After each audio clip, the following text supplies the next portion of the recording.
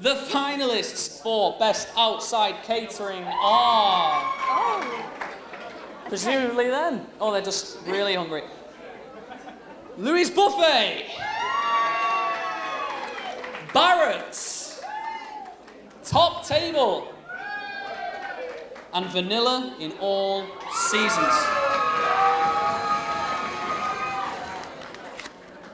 Okay.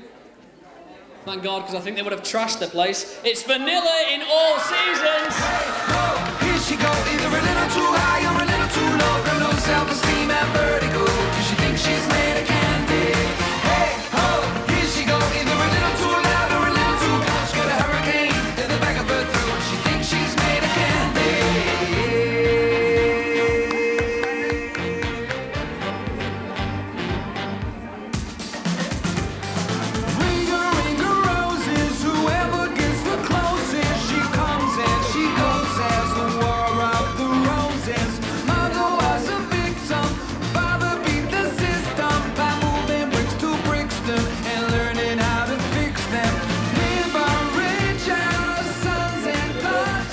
Gentlemen. Uh, thank you very much. Thanks to all the staff.